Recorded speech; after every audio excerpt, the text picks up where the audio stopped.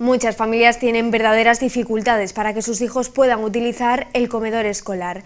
La inflación ha disparado el precio de la mensualidad una media de 100 euros al año, una situación que provoca que uno de cada tres menores esté ahora en riesgo de exclusión. Por eso mismo, distintas organizaciones piden más ayudas para los menores de aquellas familias más vulnerables es la bandeja solidaria con la que la ONG Educo quiere concienciar sobre las dificultades que tienen las familias que no pueden pagar el comedor escolar. Ningún niño y niña se quede sin esa comida diaria que garantiza nutrición, que garantiza salud.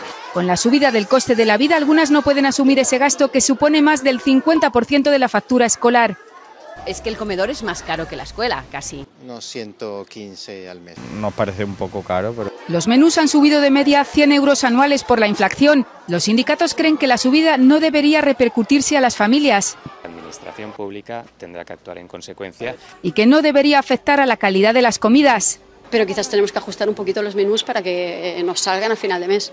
Más allá de que suban o no los precios, hacen falta más ayudas para que los niños más vulnerables tengan garantizada una comida diaria.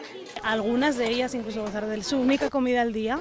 Casi 3 millones de escolares viven en riesgo de pobreza. Tendría que ser accesible y gratuito. Y solo el 11% reciben